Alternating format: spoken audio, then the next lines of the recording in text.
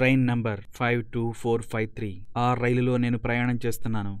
ఆ రైలు సిమ్లా టు కాల్కా వెళుతుంది. ఆ మార్గంలో చిన్న పెద్ద బ్రిడ్జిలు కలిపి మొత్తం ఏడు వందల వరకు ఉన్నాయి. ఇక సొరంగాలు అదే టన్నెల్స్ నూట ఏడు వరకు ఉంటాయి. ఆ నూట ఏడు టన్నెల్స్లో ముప్పై మూడవ టన్నెల్ చాలా భయంకరమైనది. టన్నెల్ నంబర్ థర్టీ త్రీ వద్దకు చేరుకోబోతుంది. ఆ సమయంలో నాకు భయమేసింది. ఎందుకంటే అక్కడ ఏముందో నాకు తెలుసు. అక్కడ ఏముందో నేను ఈరోజు మీకు తెలియజేయబోతున్నాను. టన్నెల్ నంబర్ థర్టీ త్రీ దగ్గర దయ్యం ఉంది. దాని పేరు బరోగ్. ఈ టన్నెల్ నిర్మాణం పద్దెనిమిది వందల తొంభై ఎనిమిదిలో మొదలైంది. ఈ మార్గం మొత్తం దూరం తొంభై ఎనిమిది కిలోమీటర్లు. ఆ మార్గంలో టన్నెల్స్ వేయడానికి ప్రారంభించారు. ఎక్కడికక్కడ ఇంజనీర్లను నియమించి పనులు చేపట్టారు. టన్నెల్ నంబర్ థర్టీ త్రీ బాధ్యత ఇంజనీర్ బరోగ్కు అప్పగించారు. బరోగ్ మహా మేధావి మంచి పనిమంతుడు. అతను ఒక భారీ టన్నెల్ను కొండలను తొలుస్తూ నిర్మించాలి. అయితే ఒకే వైపు నుంచి కొండను తవ్వితే చాలా కాలం పడుతుంది అని భావించాడు బరోగ్ అందుకే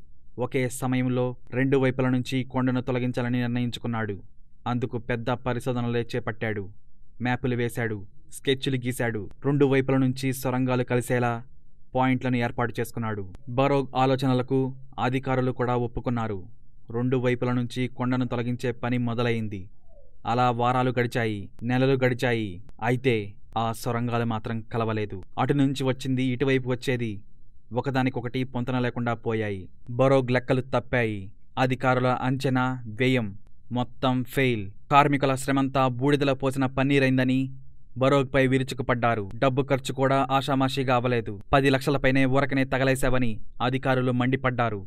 అతనికి శిక్షగా జరిమానా కూడా విధించారు. దానికి బరోగ్ ప్రభుత్వ సొమ్మును వృధా చేశానని బాధపడ్డాడు. కార్మికుల శ్రమ దోచుకున్నానని కుంగిపోయాడు. ఇక ఆవేదనతో టన్నెల్ సమీపంలో రివాల్వర్తో కాల్చుకొని చనిపోయాడు బరోగ్. అయితే కొన్నాళ్ళకు అదే టన్నెల్ని అదే బరోగ్ స్కెచ్తో మరో ఇంజనీర్ పూర్తి చేశాడు. అప్పుడు గాని ఆ అధికారులకు తెలియలేదు.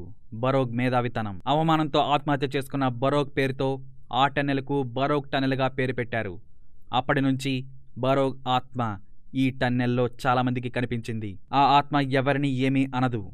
అలా అని కామ్గా కూర్చోదు ఊరుకోదు. కనిపిస్తుంది మాయమైపోతుంది. రైళ్ళను ఆపేస్తోంది. ఆ రైళ్ళలోనే తిరుగుతూ ఉంటుంది. హఠాత్తుగా ఆ ప్రదేశంలో ఏ రైలైనా ఆగిపోతే దానికి పరోక్ష కారణం బరోగ్. బరోగ్ చేసే పనులకు ఆటనెలకు ఇనప గేట్లతో మూసేసి తాళాలు వేశారు. ఆశ్చర్యం. కొద్ది రోజులకే ఆ తాళాలు తెగి కింద పడిపోయాయి. దానిని చూసిన అధికారులు నివ్వెరపోయారు. వాళ్ళు అనుకుంది ఒకటే బరోక్ తన టన్నెల్లో రైళ్ళ రాకపోకలను కోరుకుంటున్నాడని భావించి మళ్ళీ రైల్వేనైన్ను స్టార్ట్ చేశారు. అప్పుడప్పుడు వాళ్ళకి బరోక్ కనిపిస్తుంటాడు.